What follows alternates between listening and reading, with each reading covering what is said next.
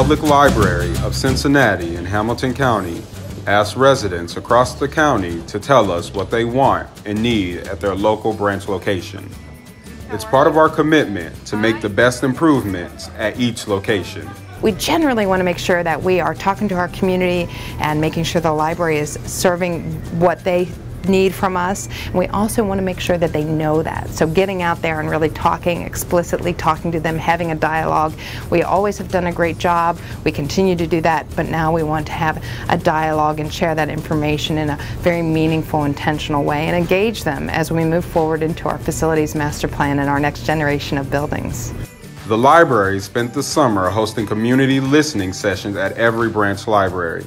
We want to make sure that we are spending the taxpayers' dollars responsibly, and we want to make sure that we give them every opportunity to direct us in how that goes and also just check our own assumptions about uh, the, the best way to, to give them the library that, that they want.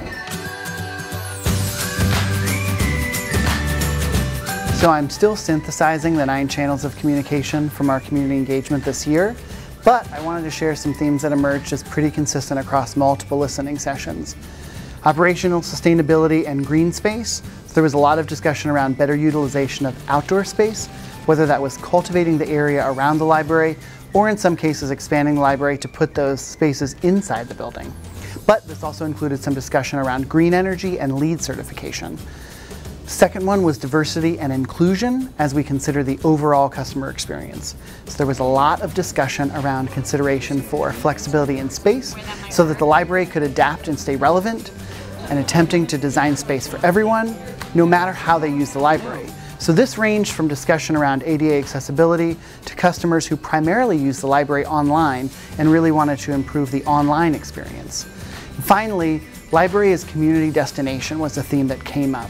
Many people talked about how the library and their branch specifically is such an anchor for the community and an inextricable part of the community identity. Community members shared how much they appreciated how welcoming their library is. The feedback collected from the community, staff, local business leaders, and others will be used by Group 4 Architecture, research and planning consultants who have worked with major library systems across the country to develop a facility master plan.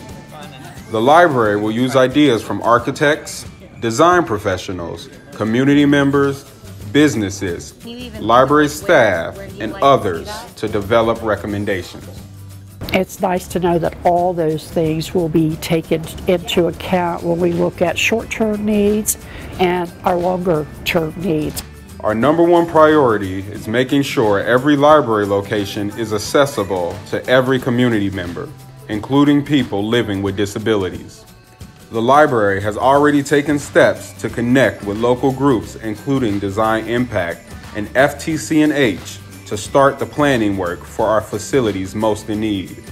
These meetings are really important because it's an opportunity for uh, people in the community to have a voice and share their open and honest opinions with the library. We heard great things from our community. They love the staff and they do love the library, but some of the suggestions that emerged again and again, including making sure all of our locations are accessible for people who have mobility challenges, additionally upgraded restrooms, parking. We also heard again and again that people wanted more space, specifically for meeting rooms, rooms as well as individual study spaces and we heard quite a bit about attractive outdoor spaces making the areas around our libraries more activated and using any outdoor space we have at the libraries currently in a more intentional way.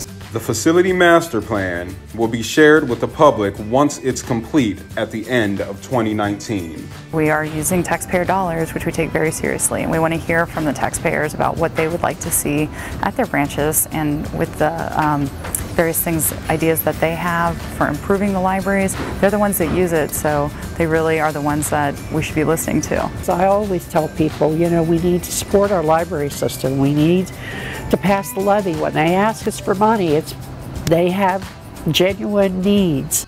The completed facilities master plan isn't the end, but the beginning. Look for us out in the community again as we move into the implementation phase and toward a next generation library system. You can keep up to date by visiting cincinnatilibrary.org slash next generation library.